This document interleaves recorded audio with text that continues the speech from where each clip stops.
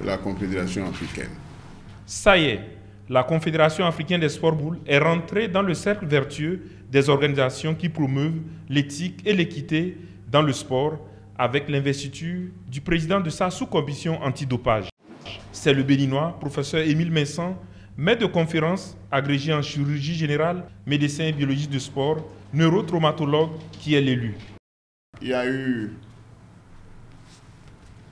assez de candidatures à ce poste. Mais nous avons tablé sur l'expérience, sur la connaissance des milieux boulistiques. De toutes les façons, de tous les dossiers que nous avons eus, il est le seul à connaître le milieu depuis plus de 25 ans. C'est important. L'expert antidopage, Issifou Aliou, dont la structure a été sollicitée par la Confédération africaine des sports boules, ne tarit pas d'éloges pour cette démarche. Permettez-moi vraiment de remercier très sincèrement les autorités du Bénin. N'est-ce pas, au premier chef, le président de la République et son gouvernement. Et je vous dis, c'est une première en Afrique.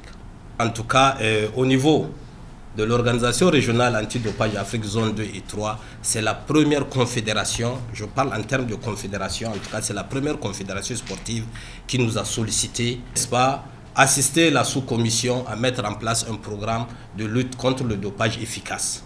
Des propos confirmés par Fernando Essou, représentant du Comité national olympique et sportif béninois.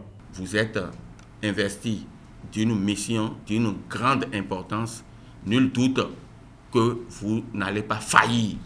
Vous êtes un spécialiste de la médecine, vous êtes également un spécialiste de la pétanque.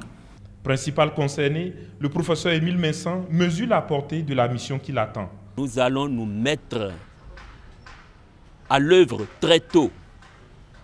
Nous allons être l'appendice de l'organisation régionale antidopage.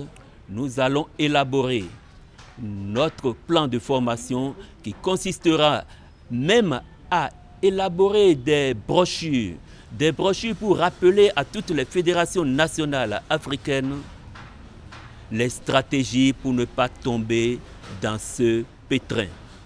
Premier grand chantier pour la sous-commission antidopage et son président, les Masters.